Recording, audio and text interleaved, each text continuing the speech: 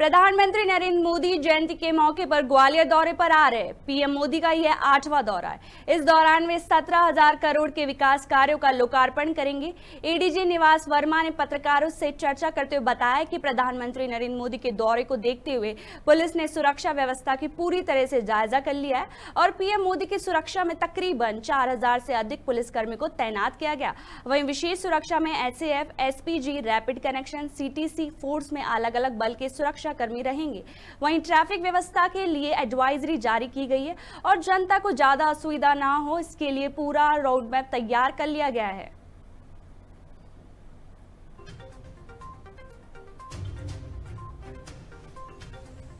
जैसा कि आप देख रहे हैं कल माननीय प्रधानमंत्री जी के विज़िट के परिप्रेक्ष्य में ग्वालियर पुलिस आ, हर जगह पे डिप्लॉयमेंट और रिहर्सल की कार्रवाई की जा रही है। हमारे जो पुलिस बल जो तैनात है पूरे व्यवस्था के लिए लगभग चार हज़ार का बल तैनात है।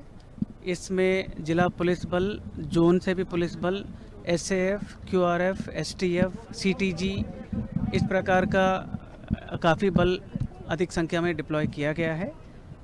आ, जनता का भी जो ट्रैफ़िक एडवाइज़री हमने ऑलरेडी जारी किया हुआ है जो वैकल्पिक मार्ग है उसका भी एडवाइजरी ट्रैफ़िक पुलिस ग्वालियर द्वारा जारी किया हुआ है। जनता को कम से कम असुविधा हो इस प्रकार का हमने प्लानिंग किया हुआ है। और जो जैसे कि आप देख रहे हैं आ, कल उम्मीद करेंगे सभी के कोऑपरेशन से ये व्यवस्था सुचारू रूप से संपन्न होगा। Thank you